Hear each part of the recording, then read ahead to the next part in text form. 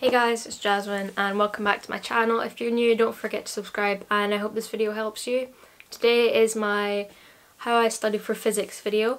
I am actually wearing the same top as my chemistry video and that's because I filmed them on the same day just because they're going to be a little bit shorter than my maths one just because maths is evil. My number one, number one tip for physics is don't panic and remember your units. So in SQA, if we forget the units on the final answer, like calculations are normally 3, one for the formula, one for the substitution and one for the answer. If you forget the units on the answer, you only get 2 out of 3, even if it's the right answer. So always remember the units and just don't panic. Breathe, because I used to panic in physics and if I didn't know the answer I'd be like, oh crap, I'm to fail. Oh my god, no. But if you just take a step back, obviously not physically because you're in an exam hall, but just take a step back, move on to the next question and come back and you'll usually find that you were you were overcomplicating or you missed out reading a part of the question. Second most biggest tip, that's not a word.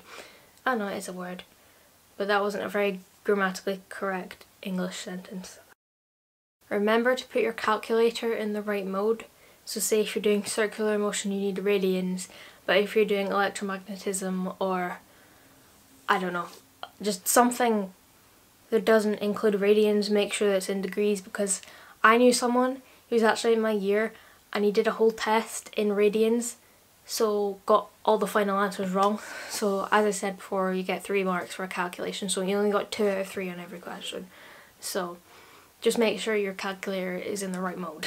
Another thing I find really useful personally because I find visual visualization quite difficult is to draw little free body diagrams for forces or just like a diagram of what's going on in the question because sometimes I read the question and I'm like well what the hell is going on here so always having having a picture to look at to visualize always helped me to deduce what I needed to do to find the answer to the question. I think GCSE you have to learn the formulas again but again with the SQA we get given a formula sheet but if there's formulas again that aren't on the formula sheet, I made flashcards and I would go through them. So we had one that was like, I think it was for a cylinder or something, roll, is it so, uh, a solid or a hollow cylinder rolling down a um, slope and it was to do with moments of inertia and like conservation of rotational uh, kinetic energy and stuff. I, I don't know, I didn't really understand it. But I learnt the formula and it was all to do with like substitutions and taking out common factors. So I learnt that by putting on a flashcard and just looking, just going over the flashcard regularly. And also um, uh, stuff like that I also put on sticky notes that I would stick around my desk so I'd be able to see it while I was sitting revising again. Again, near exam season, past papers are your best friend. There's not a lot of questions they can ask you because there's only a set amount of stuff on your specification. Um, but if you're doing SQA, please please practice open questions because I personally found them really really difficult because I never really had a proper really really in-depth understanding of something. I would have like a general knowledge and I'd be able to answer questions and give ex basic explanations but I would never have enough information to go into depth in these three marker open questions. And also these questions, leave them to the end. That's what, that was a tip from my teacher actually. So leave them to the end and then come back because they're only worth three marks. You could have like a 10 marker question on magnetic forces that you missed out because you were trying to answer this 3 marker uh, open question and that would just be stupid because you'd probably get the 10 out of 10 whereas you might only get 1 out of 3. And as I said at the start, my biggest tip for physics is don't panic. Just read the question, read it again. If it doesn't make sense, move on and come back to it. And if you don't know how to go any further with the question, especially for SQA, write your formula down it might be the right formula. Even if you don't substitute anything in, you still get a mark for it.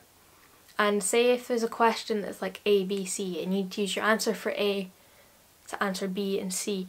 If you don't have an answer for A, just make up something. Write down on the paper that you've made up something so that you can substitute it in.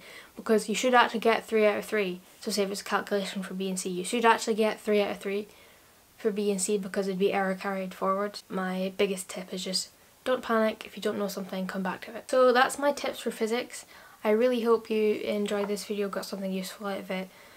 Um, physics, I actually crashed physics national 5 so I hadn't done it for two years and I personally found it really difficult in the start but I eventually caught up with everyone in the class and it was okay and it's actually become one of my favourite subjects. I was like, no, I'm never going to take physics, it's too hard, it's too difficult. But if you work at it, you'll get there and you will understand it, well, understand most of it because I can't say that I understand everything in physics. So yeah, I really hope you enjoyed this video and I will see you next time. Bye.